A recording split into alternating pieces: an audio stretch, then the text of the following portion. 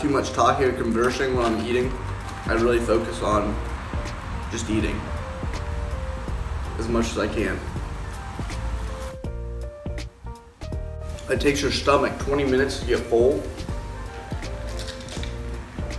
So if you talk between each bite, you'll get full quicker, which is great for people who are trying to lose weight. But if you're trying to bulk, you want to eat as much as you can before you get full.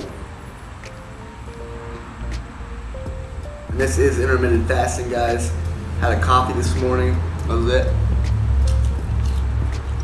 One feels heavier than the other one.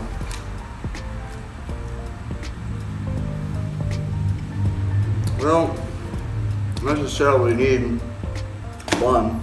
We'll take that off. Less carbs.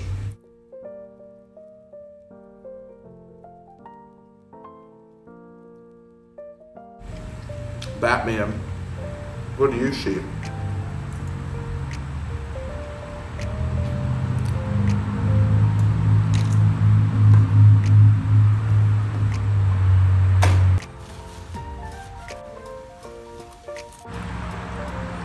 Man, I'm getting full. Might have to call it quits. Because I don't eat till I stuff myself. That's just not me. Call it quits. Listen to my body when it feels full, it's done. Oh. Thanks for watching, guys. Having a McDonald's meal with me.